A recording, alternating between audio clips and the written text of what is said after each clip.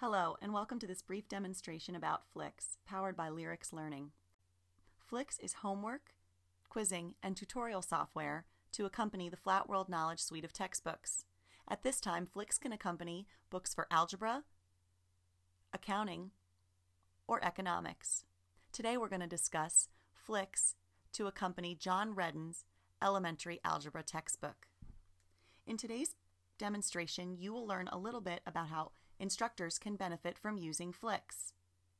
Not only because FLYX questions feedback are designed by content experts, but also because those assignments can be customized to match your course by Lyryx Learning and Flat World Knowledge.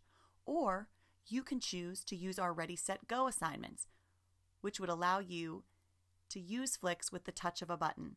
And finally, if you'd like, you can even get started and create your own assignments from scratch due to this very easy interface to follow. In our demonstration today, you'll also learn about how FLYX can benefit students, personalized feedback, and assignments that can be taken anywhere and anytime that are algorithmically based help students to learn, rehearse, and remember course content. And finally, the self-paced tutorials allow students to practice their work in a non-threatening environment. Finally, you'll spend some time today also learning a little bit about the support that Flat World Knowledge and Lyryx Learning provides for the FLYX product. So without further ado, let's get started. Here we are inside my personal FLYX. As you can see, I have a lot of courses loaded here, and you could do the same. But today, we're going to be talking about John Redden's elementary algebra textbook and the FLYX product associated with it.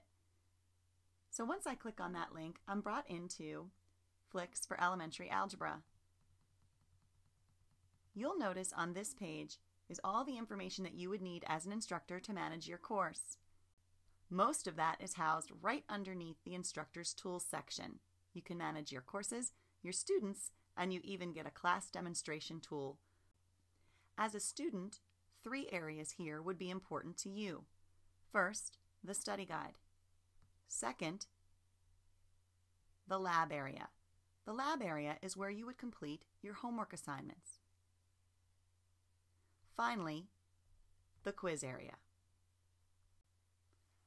Let's take a moment to review FLYX as though we were a student. This is the lab or homework section. You can see it's arranged by each individual lab. Of course, you as the instructor could name this and set up parameters any way you please, like week one, you could make some of these required or not required, and assign start dates and due dates.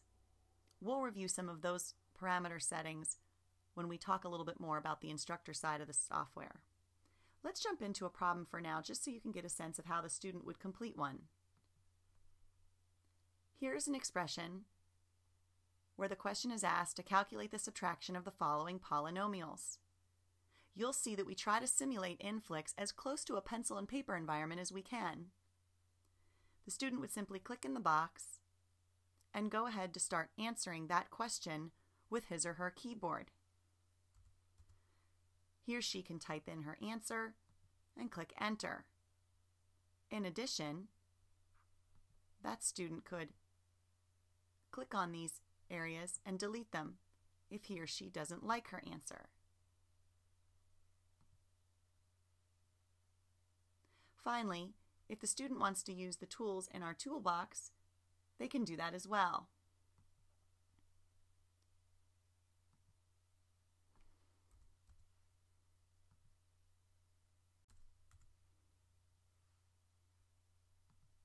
Going to purposely get this problem wrong so that you can see how FLYX treats an incorrect answer. Let's click Submit and Grade. You'll see that I went about doing this problem incorrectly. They repeat the question, repeat what my answer was, and give the correct answer. There's also a bit of explanation about how I might get this answer correct in the future. You'll see that I lost all of the points for this particular question. Had I got an answer that was closer to correct, or had I made a more common mistake, I could have had partial credit for these questions. That's one of the advantages of the FLYX software. There is partial credit assigned for students who make common mistakes. Let's move down to the quiz area. You can see that in order to access a quiz, you just simply click on the go to Quizzes button. There are quizzes available for the, for the student based on what you would have set up for them. Quizzes look exactly the same as homework, but there's just more stringent parameters outlined around them. And again, we'll look at that in a moment when we talk about how you might set those up.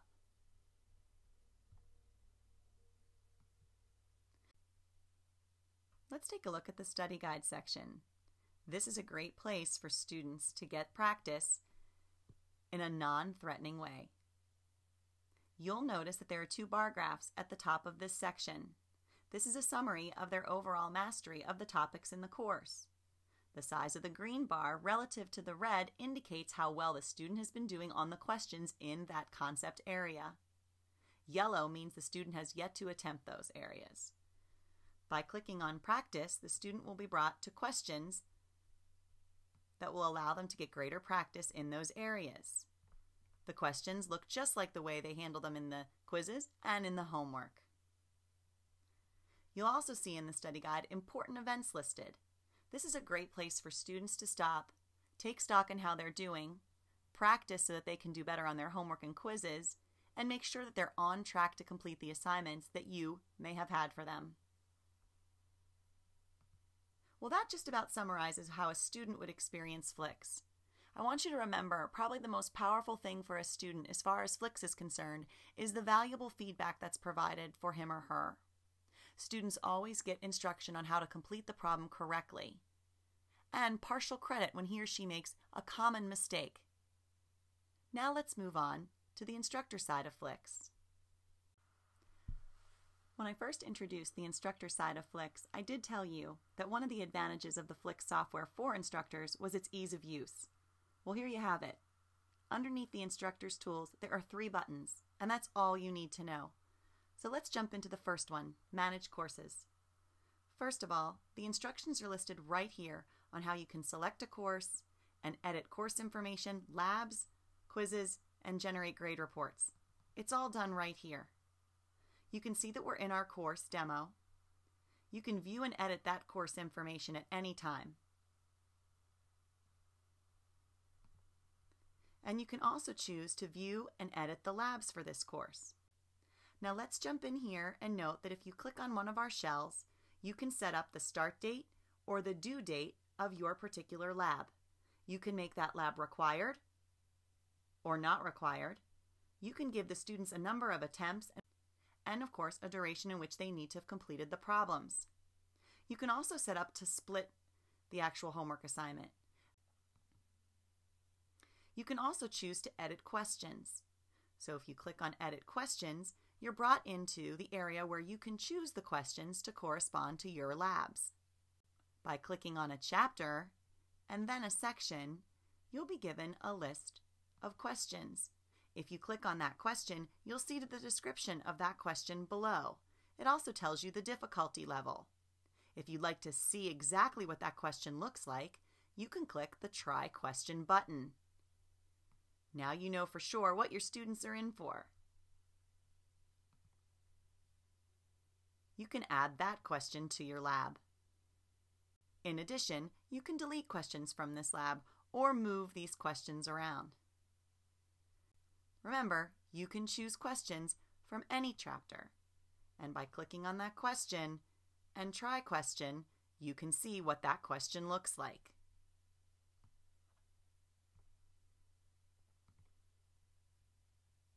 When you're done, you can save lab or you can reset it to the original. Let's save our lab today. There you have it. You've got your first lab assignment set. We give you 18 shells. You can add more or just choose not to use some of the ones if you don't need 18 of them. So that's how you go ahead and you add homework assignments. How would you add quizzes? Well, it's not that, that much different.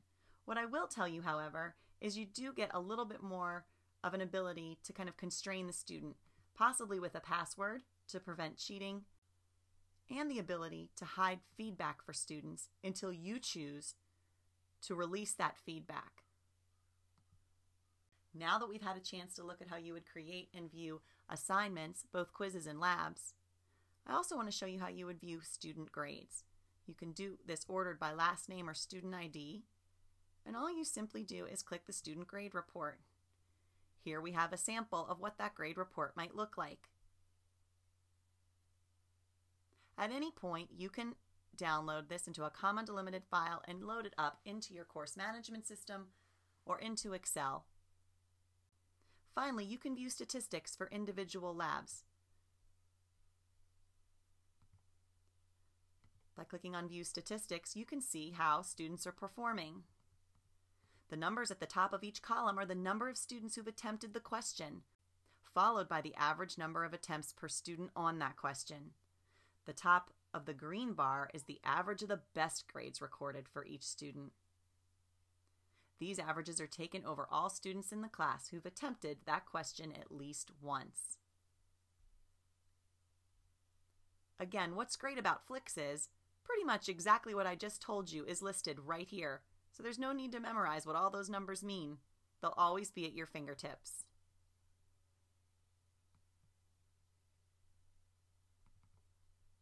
Well, there you have it. That's how you're going to manage your courses. Let's show you quickly how to manage students. This area is great for resetting students' grades, allowing them more time on a lab or quiz, or granting extensions. You can also reset passwords for students when they forget them. And finally, our class demo tool. What's great about the class demo tool is it allows you to go ahead, choose a question, and run that question in class. This is a graphing question. You can show this question in class and get the feedback that FLYX provides.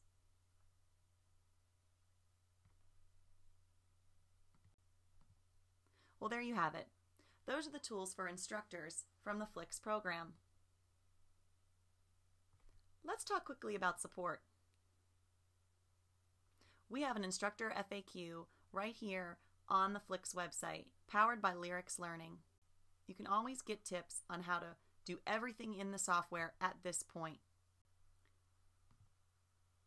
By clicking on Contact Us, you'll see that you can get instructor or student support seven days a week via email, and the team at FLYX and Flat World Knowledge will reply to all inquiries within 24 hours.